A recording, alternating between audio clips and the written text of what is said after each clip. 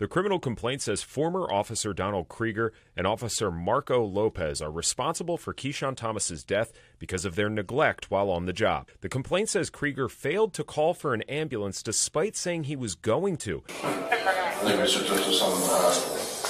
And instead places Thomas in the cell where he would later die.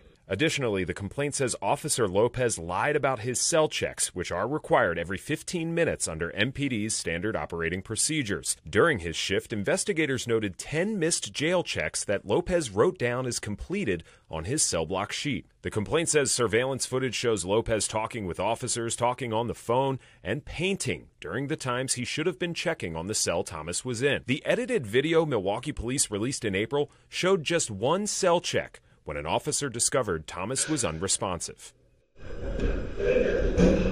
The I team discovered paramedic radio traffic, bringing into question how often Thomas was checked on.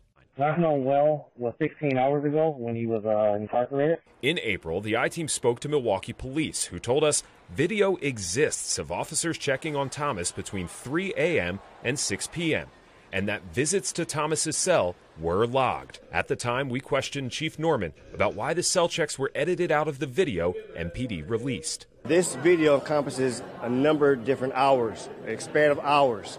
And when we were reporting out, we had to be sensitive in regards to how to appropriately reflect what had took place and be able to report out to our public who's looking for an answer of what goes on within our police department. Thanks for watching our YouTube channel. Follow today's top stories and breaking news by downloading the NBC News app.